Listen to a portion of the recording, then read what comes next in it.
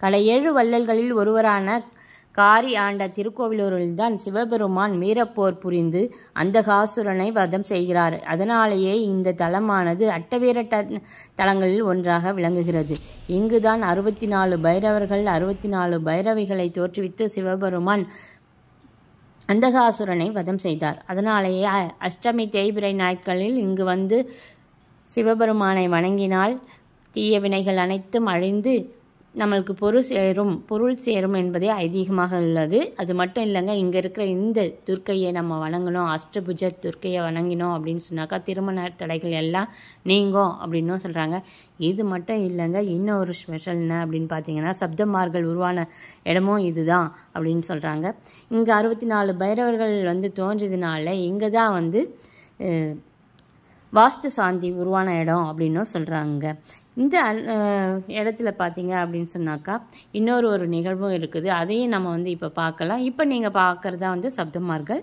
அதுக்கப்புறம் பார்த்தீங்க அப்படின்னு சொன்னாக்கா பைரவர்கள் இந்த எல்லா சாமியும் வந்து இந்த கோயிலில் இருக்குங்க. பெரிய கோயில் தான். நான் போயிட்டு இருந்தப்போ பார்த்தீங்க அப்படின்னு சொன்னால் கும்பாபிஷேகத்துக்கான வேலையெல்லாம் நடந்துட்டு இருந்தது. அதனால் வந்து அந்தளவுக்கு அந்த அளவுக்கு கிளியராக இல்லை. இப்போ இந்த நீங்கள் பார்க்குற இந்த படத்தை பாருங்கள் இதில் வந்து பிள்ளையார் வந்து துடுக்கியால் மேலே வந்து அவ்வையாரை தூக்கி விடுவார். அங்கே பக்கத்தில் பார்த்தீங்கன்னு சொன்னால் சிவன் பார்வதிலாம் கைலாயத்தில் இருக்காங்க.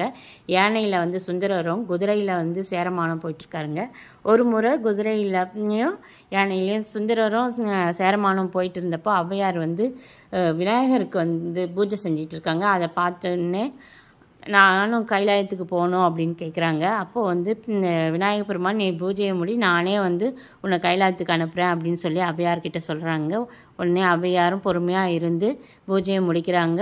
அதனால் என்ன பண்ணுறாருன்னா தான் தான் தும்பிக்கையாலே வந்து கைலாயத்துக்கு அவ்வையாரை அனுப்பி விடுறாங்க. இவங்க ரெண்டு பேரும் சுந்தரரும் சேரனும் போய் சேரதுக்குள்ளவே அவ்வையார் வந்து கைலாயத்துக்கு போயிடுறாங்க அப்படின்னு சொல்லி இந்த படம் வந்து விளக்குச்சு. அது ம- பார்த்தீங்க அப்படின்னு சொன்னால் தும்பிக்கையுடையவனை நம்புனீங்க அப்படின்னு சொன்னால் எல்லாமே நடக்கும் அப்படின்றத வந்து நம்மளுக்கு விளக்குற மாதிரியான அந்த படம் இருந்தது அப்படின்னு சொன்னாங்க.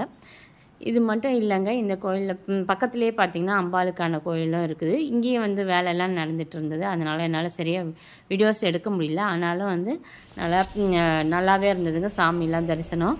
நீங்கள் கண்டிப்பாக இந்த கோயிலுக்கு வந்து பாருங்கள் உங்களுக்கு பிடிச்சிருந்தா மறக்காமல் லைக் பண்ணி சப்ஸ்கிரைப் பண்ணிவிடுங்க உங்களுக்கு ஏதாவது டவுட் இருந்தாலும் கேளுங்க. இந்த கோயில் வந்து பார்த்திங்க அப்படின்னு சொன்னால் விழுப்புரத்துலேருந்து போகலாம் இல்லைன்னு சொன்னால் கடலூர் பண்ருட்டி வழியாகவும் இந்த திருக்கோயிலுக்கு நம்ம வரலாங்க. திருவண்ணாமலை வழியாக கூட நம்ம இந்த பக்கம் வரலாம். வந்தீங்க அப்படின்னு சொன்னால் ரெண்டு கோயிலில் நம்ம உலகளந்த பெருமாள் கோயிலையும் பார்க்கலாம். அதே மாதிரி இரட்டீஸ்வரர் இந்த ஈஸ்வரன் கோயிலையும் பார்க்கலாங்க இப்போ வந்து கும்பாபிஷேக வேலை நடக்குது. அதனால் நீங்கள் வந்து கொஞ்ச நாள் கழித்து போனீங்க அப்படின்னு சொன்னால் கும்பாபிஷேகத்துக்கே போகலாம் பார்த்துட்டு வாங்க. கண்டிப்பாக உங்களுக்கு இந்த வீடியோ பிடிச்சிருக்கும்னு நினைக்கிறேன். மறக்காமல் சப்ஸ்கிரைப் பண்ணிவிடுங்க